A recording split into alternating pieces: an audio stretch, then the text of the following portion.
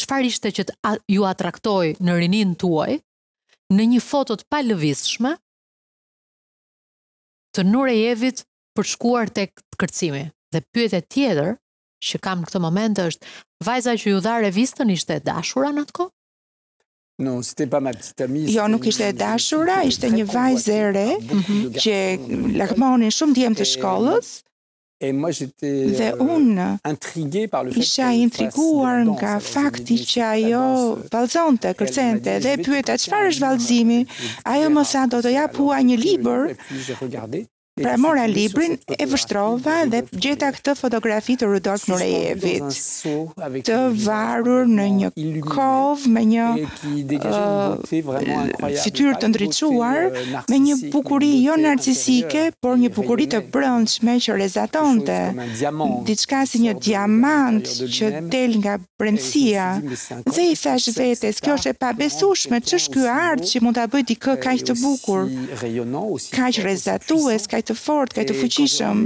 Dhe kur ia ktheva librin shoqes sime, I thashë se ku bënte dans. Ajo më tha, euh, eja një ditë. Euh, Profesorët e mi do jenë shumë të kënaqur nëse ti vjen. Në atë kohë bëja xhudo, pra mora pantallonat e mia të bardha të kimonos dhe një bluzë të bardhë dhe vajta në mësimin e parë të dansit dhe ishte si një zbulim i madh. Kur e keni bërë të ditur nënës dhe babait që kishit vendosur të merreshit me balet, nuk ka qenë lajmi më i mirë për ta. Por një nga gjërat që nëna juaj ka bërë është ka shkuar në punë, punonte në uzinë në atë kohë dhe ka pyetur përshtypjet e, e ambientit aty çfarë do të thotë ti të ketë një djalë balerin dhe diku ju thoni që kishte marrë përshtypje të tmerrshme. Kush ishin përshtypjet e tmerrshme? Çfarë tha ajo? Oui, c'est vrai. Pour ses, ses impressions. Mais en fait, elle a fait comme une enquête. Në fakt e bëri si një lloj hetimi, një lloj anketimi. Nëna ime është diçka një njeri i thjeshtë, inteligjente, por nuk kishte kulturë, nuk dinte të lexonte. sepse s'kishte shkuar, thjesht nuk kishte shkuar në shkollë. Dhe pra ajo ishte e hapur ndaj kësaj çështjeje, nga kësaj pyetjeje për një burrë vallza, vallëzues, por ajo donte të dinte çfarë mendoni ju, djali im do të jetë balerin. Dhe të gjitha koleget e uzinës i Thanë balerin po jo është diçka e çuditshme nuk është mirë i bën burrat si gratë pra kishte shumë klishe për vallëzimin sikur vallëzimi të ishte për vajzat dhe jo për djemt pra ime më u tremb ajo nuk donte, donte më të mirën për mua. Dhe kur dëgjonte diçka, kur dëgjoi se kjo do të më kthente në sensin e kundërt, Ajo euh, kundërshtoi. Pra i gjithë vijimi ishte një luftim, një betejë kundër familjes sime, kundër që ishte kundër baletit, por dhe kundër euh, qytetit, lagjes ku banoja, ishte një lagje popullore dhe djemtë e moshës sime kishin të njëjtat klishe, talleshin me mua sepse të bëja baletin, e bën si vajzë, e të tjera. Pra kjo mund të më shkatërronte, por kjo në fakt më forcoi dhe më bindi se duhet të vazhdoja baletin. Mm. Kur ka qenë momenti i parë që ata kanë ardhur në një shfaqje tënden? Iu desh një farë kohe, ishte në vitet 80, 87, 88, isha 30 ans. Isha tridhjetë vjeç ndoshta në atë kohë. Pasi keni fituar çmimin e parë. Oui, bien sûr. Sigurisht. Domethënë, keni keni fituar çmimin e parë në tetëdhjetë e katërën, ata kanë ardhur tetëdhjetë e shtatën, tetëdhjetë e tetën. Dukurisht shqiptare kjo. Oui, c'est ça. Mm. Oui, exactement.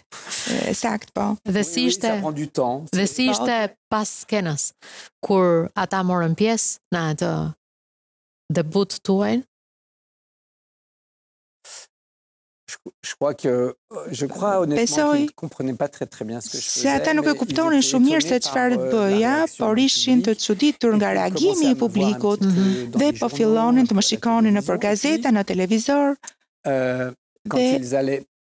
Për shembull, kur shkonin tek doktori, te mjeku për t'u vizituar për një grip apo për një sëmundje, shkonin takonin doktorin dhe doktori i thoshi, Preljocaj, jeni të lidhur me koreografin dhe prindërit e mi ishin ngrinin kokën dhe pra kjo u ngriti kokën atyre dhe kuptuan nëpërmjet të tjerëve sikur të tjerët të ishin një pasqyrë, sikur t'u jepnin një pasqyrë prindërive, prindërve të mi, por ata nuk ishin të aftë të masnin intensitetin, veçantinë e asaj se çfarë po ndodhte. Kishin një lexim si unë nuk mund të them që e njoh si ndoshta shumë që ndjekin baletin në mënyrë religjioze, por sigurisht mund të kuptoj.